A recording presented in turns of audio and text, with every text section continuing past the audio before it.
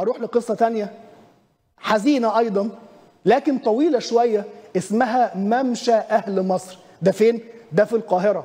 واللي الحكومة قررت في 2019 قال إيه؟ هستغل شط النيل وهعمل هعمل لكم مشاريع سياحية تستفيدوا منها وببلاش يا مواطن. خلي بالك ببلاش يا مواطن. ههد كل الشاليهات أو ههد كل العوامات اللي موجودة على نهر النيل وهشيل الإشغالات وههد الأكشاك وهخرب بيت الناس اللي كانوا عايشين وأشيل المشاتل وأشيل المزارع عشان هعمل إيه؟ هعمل لك ممشى أهل مصر يا مواطن وببلاش يا مواطن. النهارده في حملة مجتمعية للحفاظ على متنفس مجاني لشم الهواء اسمه ممشى أهل مصر. صرفت قد إيه يا حكومة على الممشى؟ حسب بيانات وزارة الإسكان ممشى أهل مصر في القاهرة المرحلة الأولى اتصرف فيها 600 مليون جنيه مصري. عشان نعمل كوبري أسفلت أو نعمل طريق أسفلت الناس تتمشى عليه.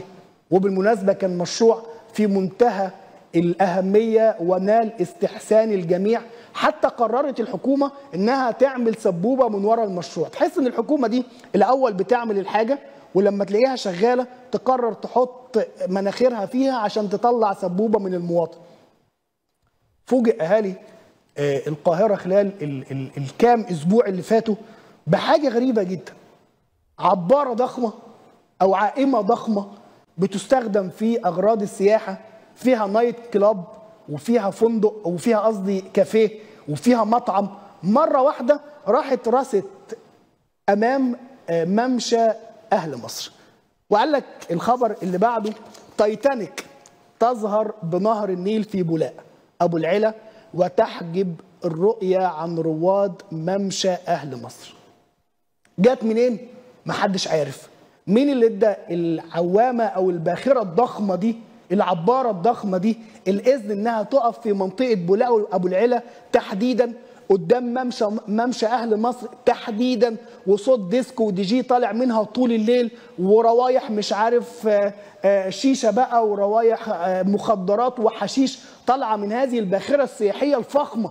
واللي قال لك مملوكة؟ لأحد رجال الأعمال المحسوبين على النظام ومحدش قادر يقول له أنت موقف البتاعة دي هنا ليه. اتفرج كده على منظر هذه الباخرة واللي اتولدت في المنطقة دي بقالها أكتر من شهرين ثلاثة النهارده والحكومة عاملة نفسها مش واخدة بالها وزارة الإسكان آه، اللي مالكة للممشى مش مش واخدة بالها محافظة القاهرة مش موجودة وزارة السياحة مش شغالة وزارة الداخلية آه، عاملة نفسها من بنها وده مشهد آه، بيعاني بيعاني منه النهارده الناس اللي بتروح ممشى أهل مصر. نتابع.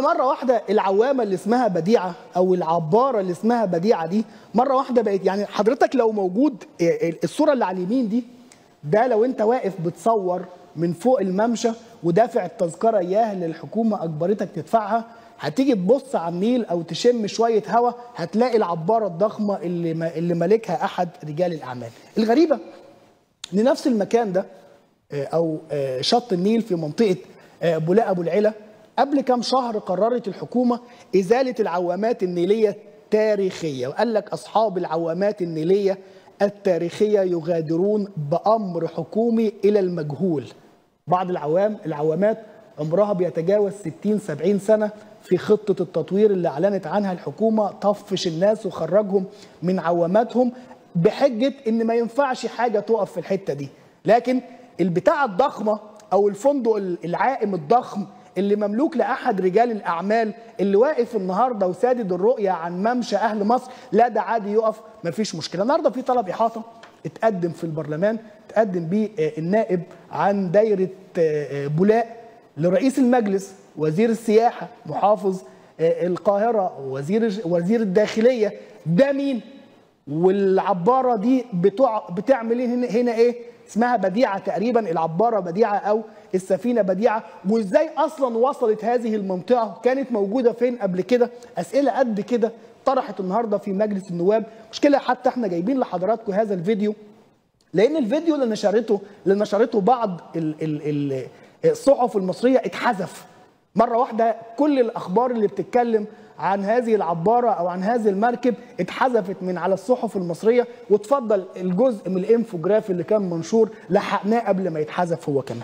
خلينا نفكر حضراتكم بقى بالقصة من البداية وقال لك الدخول مجانا ممشى أهل مصر متنزه جديد على نهر النيل لكل المواطنين. ده في بداية المشروع لما أعلنوا عنه في أو فتحوه في 2022 أعلنوا عنه في 2019 وطلعت الصحافة تتغنى بهذا المشروع. وقد إيه الحكومة هتدفع 6 مليون جنيه عشان تعمل متنزه مجاني للفقراء والغلابة؟ شوف كده مصراوي بتقول لك الدخول مجانا. ممشى أهل مصر متنزه جديد على نهر النيل لكل المواطنين. اديني بقى الخبر اللي بعده.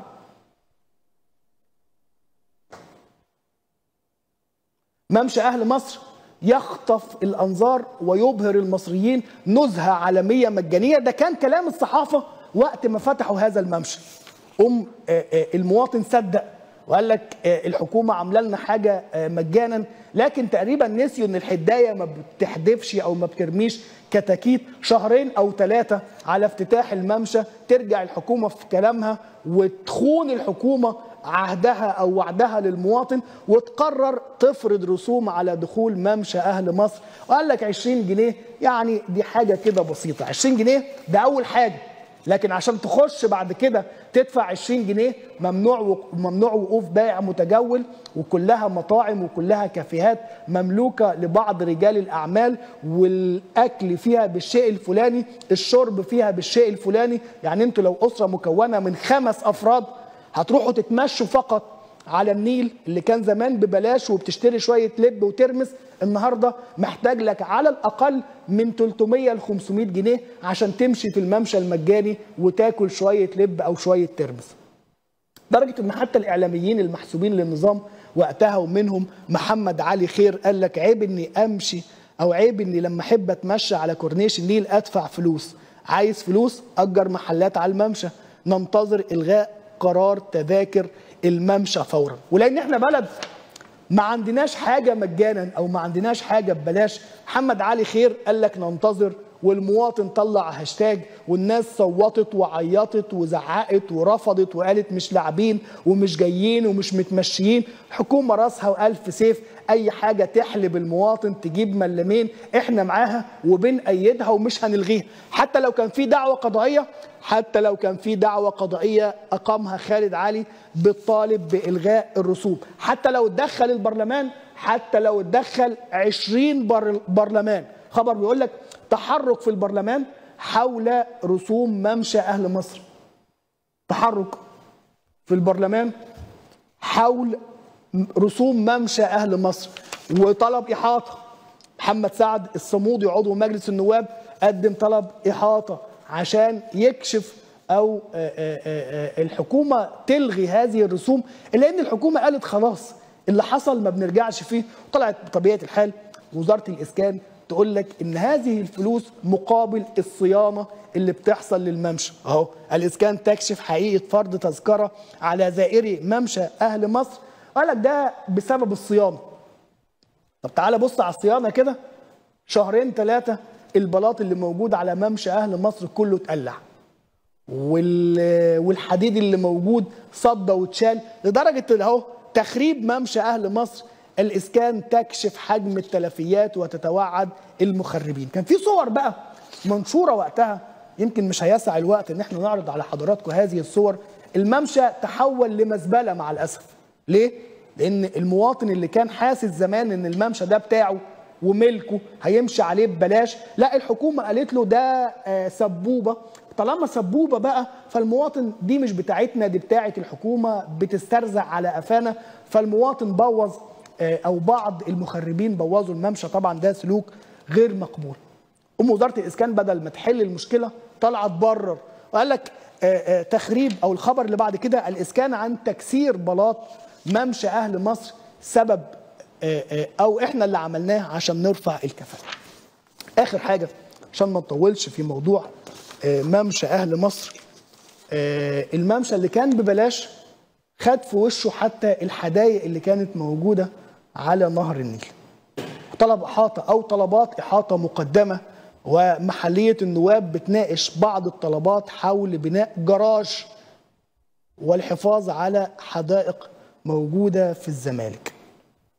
عارف أنت اللي هو لما ربنا يبقى يعني مبتليك بسوء التقدير أو فشل في التخطيط أو ربنا مبتليك أنا آسف يعني بغباء فطري ملوش مبرر ولا آه، له معنى.